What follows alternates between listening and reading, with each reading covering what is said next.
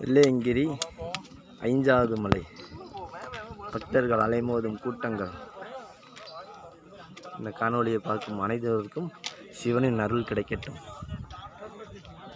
அருமையான இயற்கை. சித்ரா பௌர்ணமி ரெண்டாயிரத்தி இருபத்தி ரெண்டு அன்று.